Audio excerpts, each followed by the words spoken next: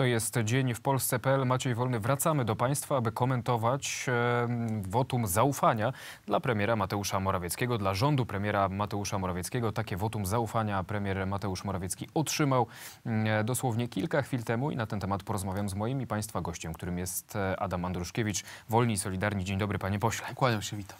No właśnie, przed momentem dosłownie był pan poseł w Sejmie, mógł obserwować to wszystko, co działo się w kontekście dzisiejszej debaty przed głosowaniem o wotum zaufania dla premiera Mateusza Morawieckiego. A teraz e, ze swojej perspektywy, gdyby mógł pan poseł nam przedstawić, jak to wszystko wyglądało? Czy możemy powiedzieć bardziej o takim trochę no, politycznym kabarecie podczas tej debaty, czy może jednak kwestie merytoryczne zarówno przez premiera Mateusza Morawieckiego, jak i w pytaniach przedstawianych przez po posłów zostały poruszone? Myślę, że z pewnością pan redaktor dotknął e, no, też dużego problemu, mianowicie pewnego cyrkowania części posłów na sali sejmowej, tak? Bo w momencie, kiedy przemawia premier Rzeczypospolitej, no posłowie z, głównie z ław Platformy Obywatelskiej pokrzykują, krzyczą, e, ubliżają, tak? E, Zachowują się gdzieś na stadionie albo w knajpie, mówiąc brutalnie.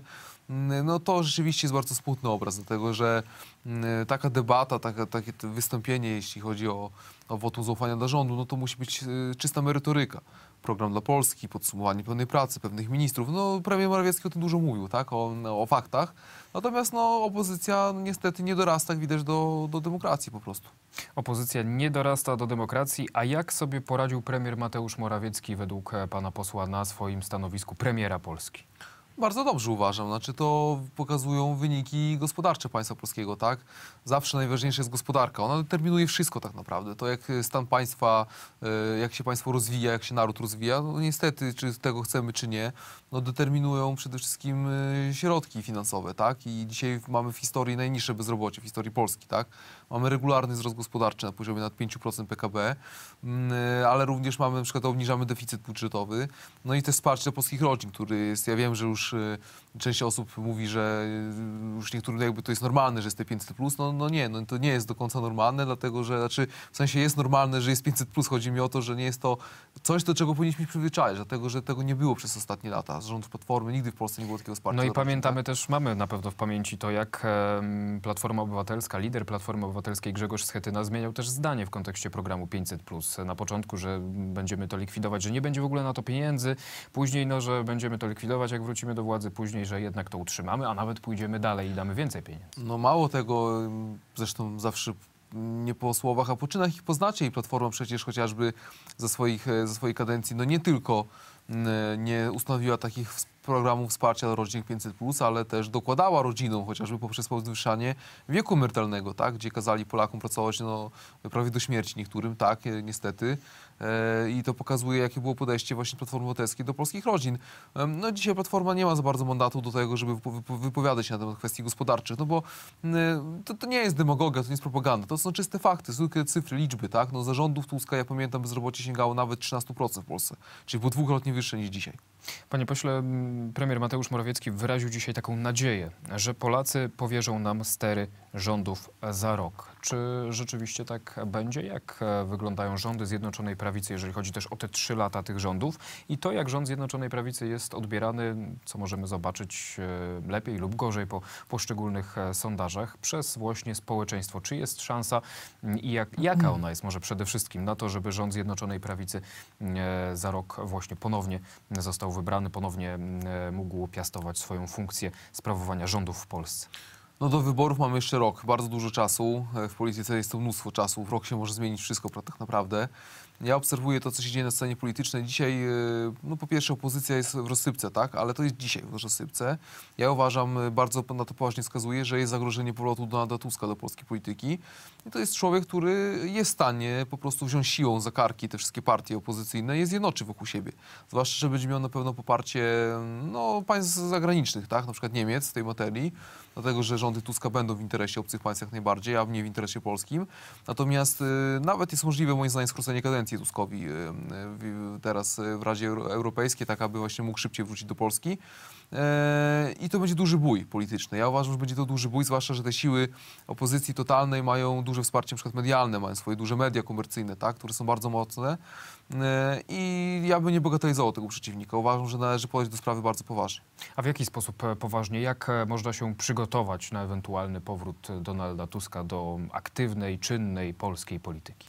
No, mi się wydaje, że trzeba przede wszystkim e, odświeżać pamięć e, wszystkim, e, którzy obserwują scenę polityczną, dlatego że mm, Tusk jest bardzo dobrym manipulatorem. On na pewno będzie miał dobrych e, będzie udawał, że jest jakby no, odświeżeniem polskiej polityki. Natomiast trzeba pokazywać fakty. Fakty, jeszcze raz fakty. Trzeba przypominać, jak wyglądały rządy Tuska w Polsce, jakie było bezrobocie, jaka była płaca minimalna, była kilkaset złotych niższa niż dzisiaj. Jak byli ludzie traktowani na ulicach, kiedy byli bici chociażby 11 listopada w Warszawie. Ile młodych ludzi wyjechało z Polski właśnie za kadencji Tuska. To trzeba wszystko podsumować, pokazywać i mówić wprost, że jak ten człowiek wróci do władzy, to te wszystkie tragedie znowu będą w Polsce, bo to nie jest tak, że on się zmienił. A teraz jeszcze wróćmy do podsumowania rządów premiera Mateusza Morawieckiego. Jerzy Mejsztowicz, poseł Nowoczesnej, jest e, razem z nami mm, przez telefon. Panie pośle, mm, witam serdecznie. Witam. Czy się słyszymy?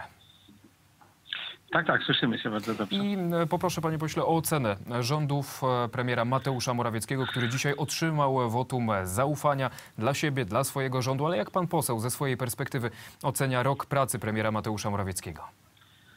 No mogę powiedzieć tylko, że to jest e, dla Polski e, zły rok, dlatego że rządy Mateusza Morawieckiego pokazały, że Prawo i Sprawiedliwość tak na dobrą sprawę oprócz podnoszenia podatków to nie ma za wiele do, do zaproponowania. Zdemolowało nasze relacje z Unią Europejską, podniosło podatki, 30 nowych podatków, demolka e, całego e, ustroju sądowego, bo, bo ten spór z Sądem Najwyższym okazał się wizerunkową porażką.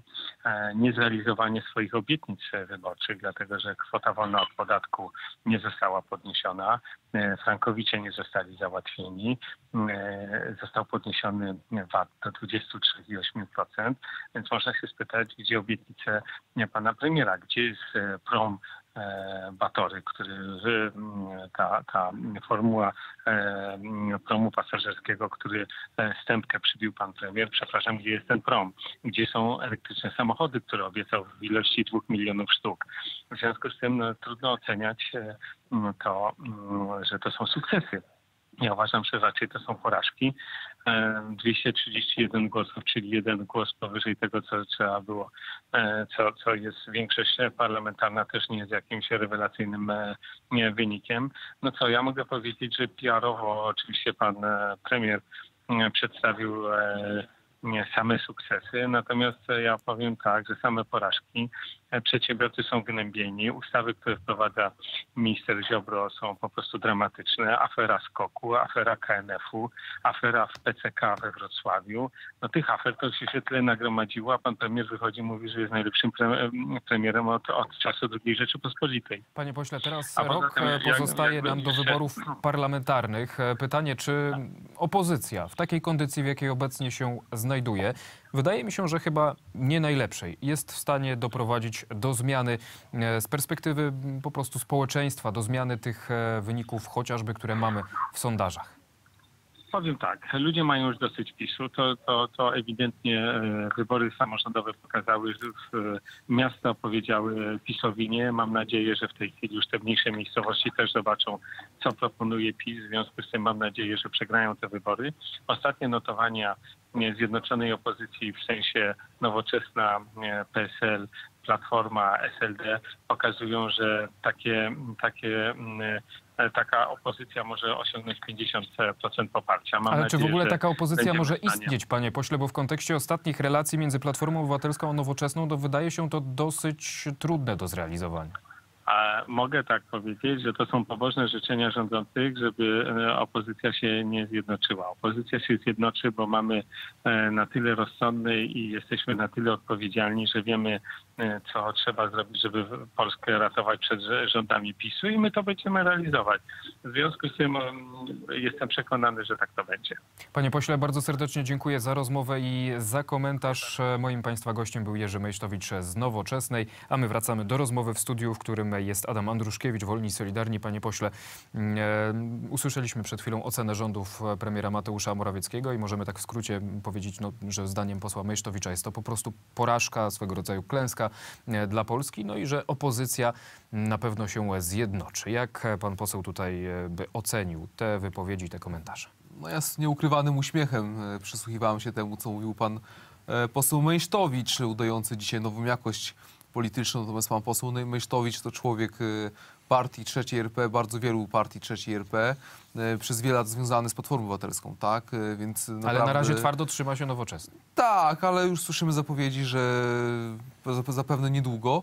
Natomiast y, no, pan Miesztowiec jako człowiek Platformy Obywatelskiej niech lepiej podsumuje rządy swojej partii, która rządziła Polską w latach 2007-15 i za czasów tych rządów mieliśmy takie y, niespodzianki jak afera taśmowa, jak strzanie do górników. Właśnie, mówiłem wcześniej o kopaniu ludzi 11 listopada. Najgorsze wskaźniki gospodarcze, jakie mieliśmy w ostatniej dekadzie, to właśnie przypadają na, na, na Tuska, więc naprawdę myślę, że pan poseł no, nie jest odpowiednim recenzentem, bo naprawdę ośmiesza się, tak, mówiąc uczciwie, niech nie udaje nowej jakości, nią nie jest, tak? To, to jest po prostu pod maską nowoczesnej siedzi twarz Platformy i do tej Platformy wróci niebawem.